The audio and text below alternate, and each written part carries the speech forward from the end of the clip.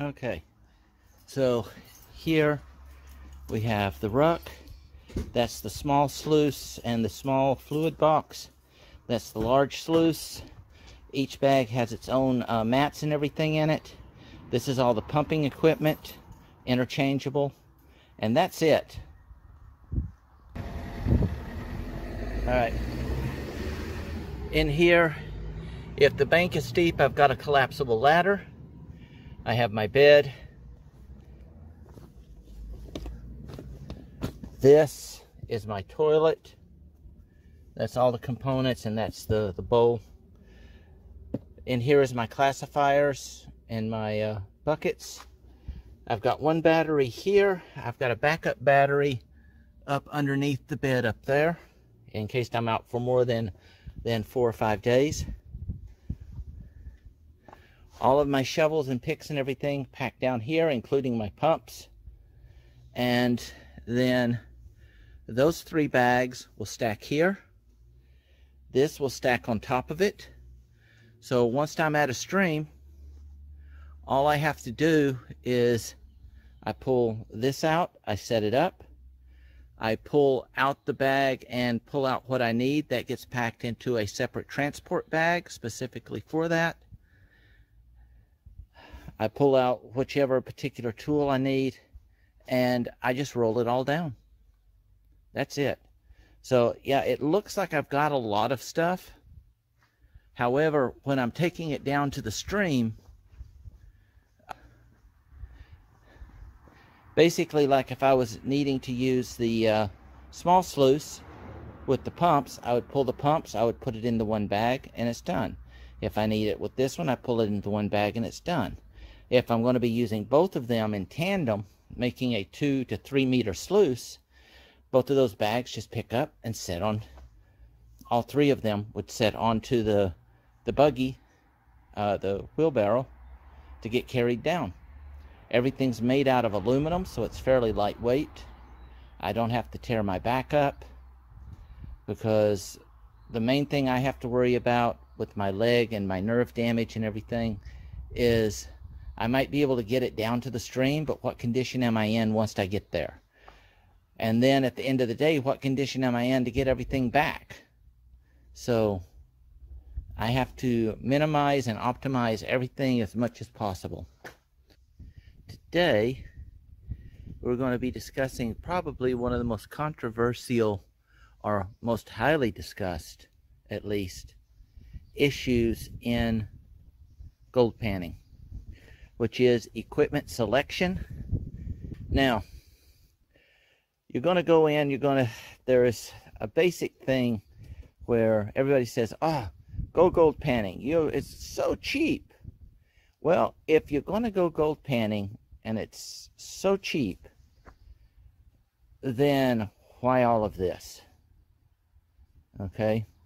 The reason is every sluice even if it's made the same way. Every stream can change day to day. None of them will operate exactly the same. Now, if you want to go the inexpensive, uh, dirt cheap method, what you do is you get yourself a uh, plastic bucket. Bump. You get yourself a colander or a uh, strainer whole whole size depending. So you've got the strainer, you've got the bucket. That's maybe what five six bucks. Then you're going to need yourself a shovel, a pick. Depending upon the stream, you may need a crowbar and a uh, pan. I have my preference on what I like to use, but this is an assortment depending upon the stream and the material that I'm working. Now, my backpack will contain at least, it will hold the small, the small and the medium pans. It will hold the two shovels. That's a foldable shovel, so I don't have to carry the big one. Okay? And all of that goes into there. That's my primary prospecting stuff. The uh, bucket. Hello, tractor. uh, the bucket and the classifier, if I'm just doing panning, I may not even use those. So the only other thing that I have is one of my uh, one of my uh, hose here, one of my pry bars, and I'll use that as my walking stick and cane as well because of my uh, my back issues.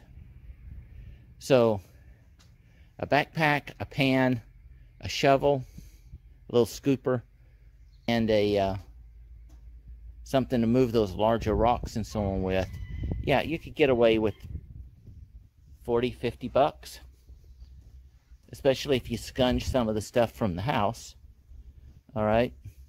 However, the key to finding gold, the main key to finding gold, is not only just knowing where it is, but the amount of material that you move. All right? The amount of material that you move equates to how much gold you will find on any given day if the gold is there and in what quantities. And there's um, lots of YouTube stuff on calculating uh, uh, gold per yard and all of that. There's plenty of stuff on that. But what we're discussing today is efficiency and collectability. Now, case in point,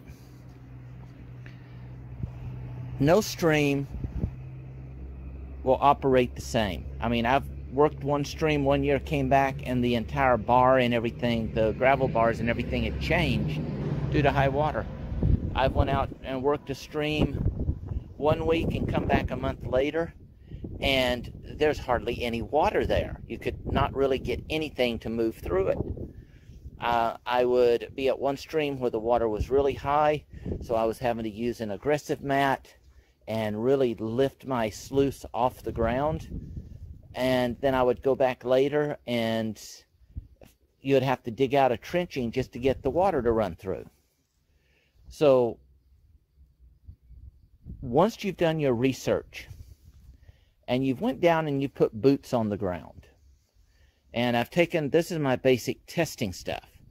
I would go out and I, this is what I would use to test pan and to mark an area uh, using my GPS on where I would want to actually go. Now, once I have my area and everything is panned, then I will know from the water side, the, the water flow, the uh, depth and everything, on what any of this that I would be taking with me. Just for this sluice section alone, all of this is all of this is interconnective, by the way. All of it's inter uh, interchangeable. I can work with it on most cases. Uh, but just this sluice alone, this section, these are all the different mats that I would use depending upon the water flow. And you'll notice those those are different sizes because the different sizes would equate to which mats I'm using here to fit into the sluice. When the water is real low, I am currently making a pump which, let me go over here. This is my pump. This will sit here.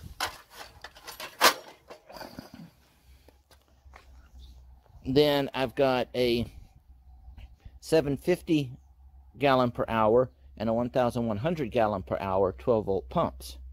That would attach and it would move my water through here and then down my sluice. So if I had very low water, then I have a way of still working that stream. Mind you, because of the nature laws, some places will not allow that. So what I may have to do is if the water's real low and I can't get it to move, I go to my my my uh, smaller sluices. Wider flanges, it will move the water in and capture more, move it faster over a smaller area. So I don't need as much water flow to work that.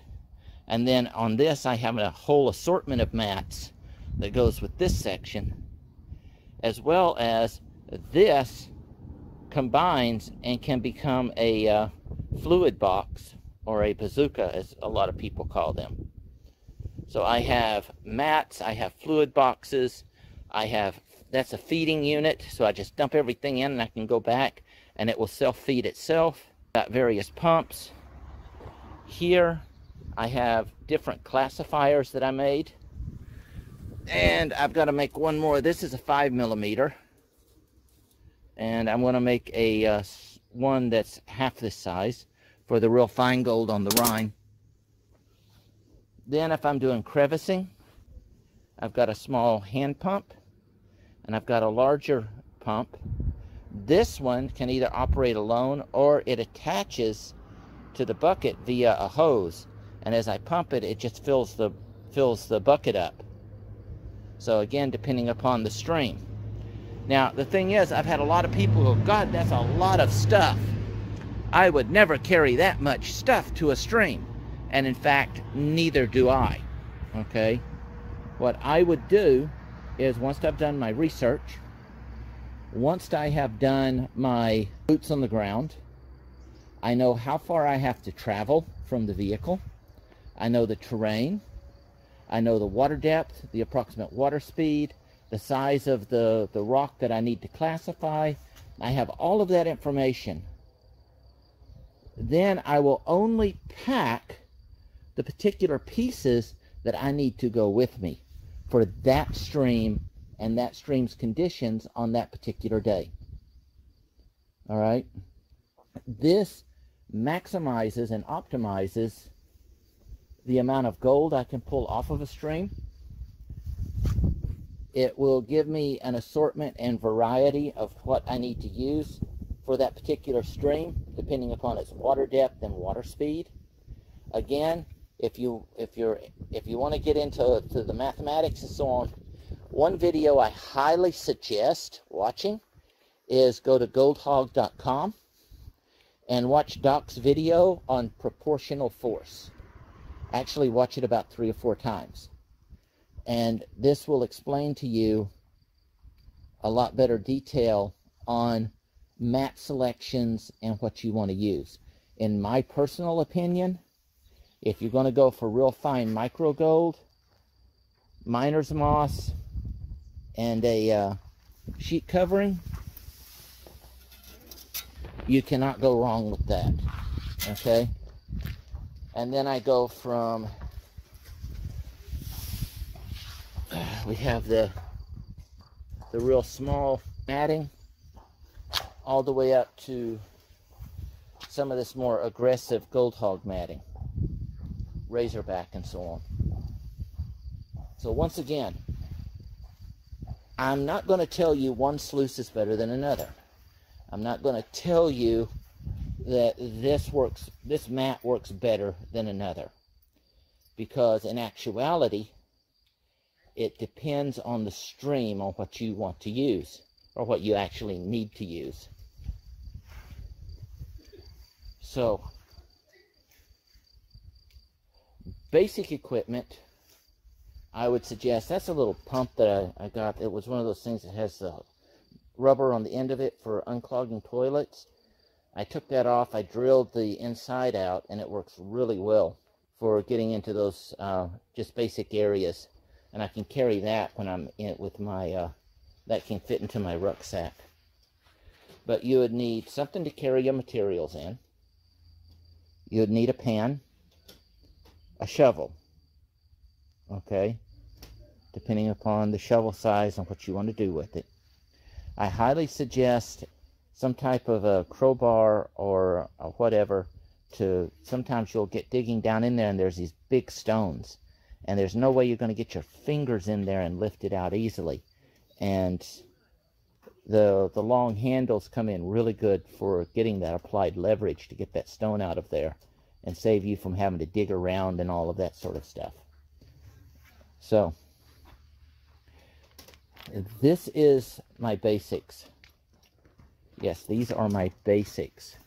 However, once again, I'm only going I'm only going to use or take to the stream with me the very specific pieces that I need. Now, how do I do that? Well, I can carry it all by hand, but what I did is I've got a small collapsible wheelbarrow. Solid rubber wheels. This opens up. I can, if I need to, I can put my battery in there. I can pack in whatever gear, tie down my uh, shovels or whatever, and literally just stroll down at my pace and leisure one trip down to the stream. So, I like the Gold Hog matting. However, I've had to, in some cases, make some dramatic modifications on it. This little stuff here, you can buy it in rolls. Whoops, out of the channel.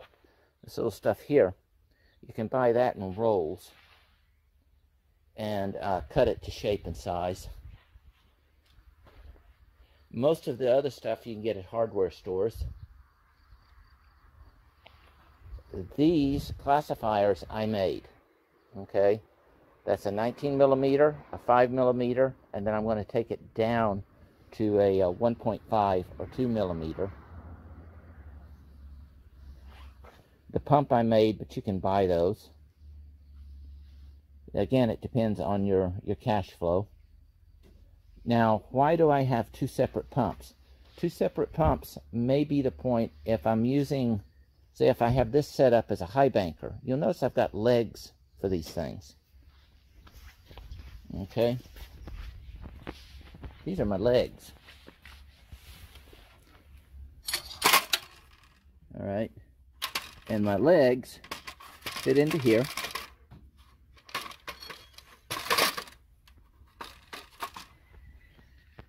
Now, the way that I have this is it's designed that while it's loose, I can actually angle the angle of of that so it can fit into the stream. Then these will dig down into the gravel. It holds it in place and the added bonus is I'm not having to stack rocks or anything underneath it to try to get my angles. All of that is adjusted by the leg settings. Okay. I do have, um, you'll see a lot of people, hang on. All right. Now, uh, you'll see a lot of people when they're hauling their stuff around, they are um, having to dig out rocks to uh, level their sluices. They're having to find rocks to pile up to hold the sluice in place. Otherwise, the sluice will literally, the water will grab it and it will take off and float downstream. Uh, I got some of the rivers, like if you go to the Rhine and so on, some of those places don't have big rocks to deal with. Okay, and if you're working in the water, like on a feeder stream off the Rhine or off the uh, Isar or off the awls, um, it can still pick it up and carry it off. Now what I've done is, you know, I have the, the, the feet that are sticking up. I just got back, so ignore the mess. What I've done here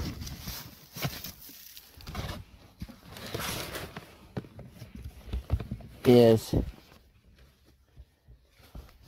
these are weight training bags. All right. And each one has 10 pounds of sand in it. All I have to do is take that handle and loop it over one of the legs on any of my sluices and it acts as my ballast one on each side once again I'm not I'm not backpacking and hand carrying everything down I've got it in my little trolley so I'm good to go. I bring these home. I let them hang for a day. They drain out if they get overly wet. It's got water resistant bags in it. And then I can just lay this in the oven for an hour or so on a, a very low heat with the door open. And it dries it right out and it goes right back into the into the vehicle the next day. I am thinking about taking the inner bag out and putting it and sealing it in a water resist, a water, um, not a water resistant, but a uh, totally uh, waterproof bag, and then sliding it back in, and that'll save a lot of time on that one. So, Matt, proportional force video. Watch that. Goldhog.com. Very informative. Your mat designs is going to determine, based on the proportional force, the river depth, the water depth, the speed, the angle, all of that is going to determine which mat you're going to use for any particular stream on any given particular day because a stream can change one day to the next. So all of this stuff sits in my car, okay? And it stays packed in my car. So I only take out what I need to go down to the water. Now, if the next day, if I'm down for a weekend or three or four day holiday or whatever, if the water level has changed or whatever, all I have to do is come back up and change out the parts that I need and I can just keep going. And you'll notice some of these videos, you know, they're they're down, the water's high, they're trying to take in a bank the sluice against a tree on the on the edge of the water, uh, trying to throw rocks on it. All of okay, all of that is bypassed because I have built-in legs on all of my stuff. All right.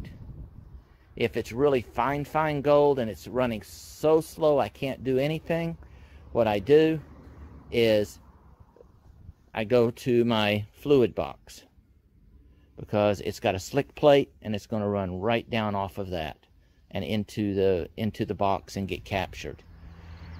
More medium to uh, fine gold, again depending upon the water, would be either my uh, my six inch sluice or my 10 inch sluice. Okay.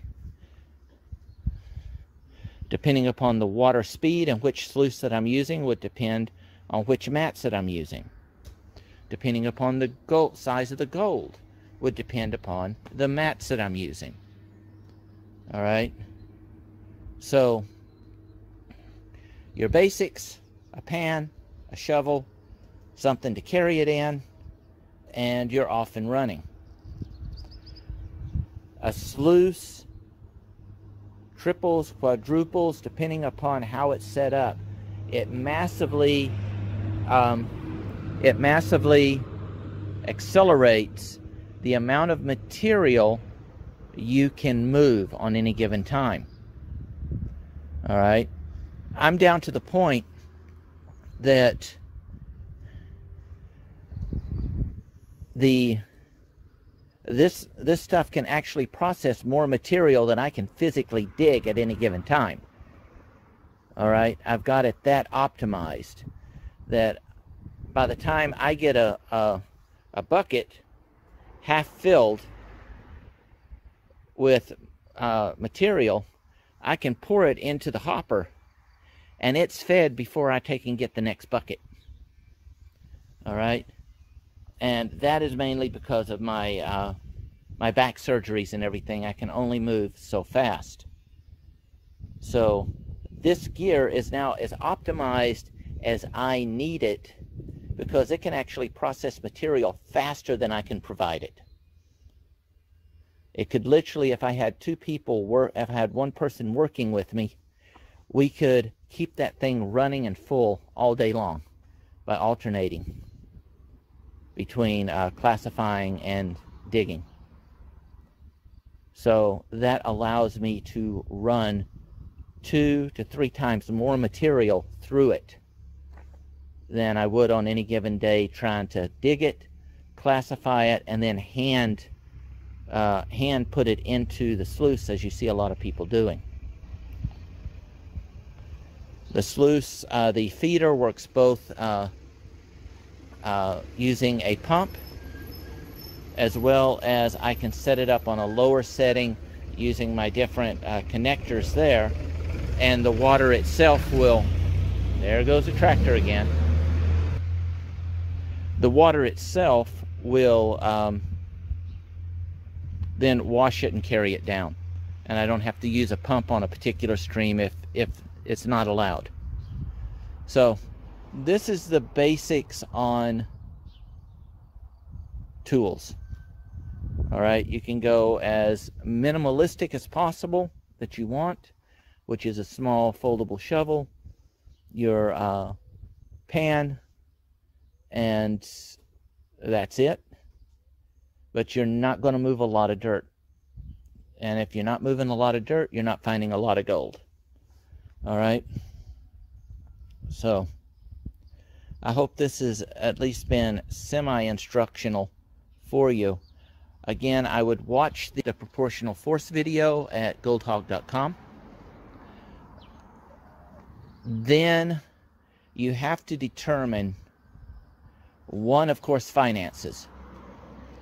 Two, if you're only going to be working a particular stream or a series of streams that are close enough or similar together to make it minimum to need changes, then get a sluice, or there's plenty of videos out there. Make a sluice corresponding to what will fit for you. But you cannot do that unless you know the streams, you know the water, and you understand the proportional force on what you're going to need to move that material. All right? Best of luck and good hunting.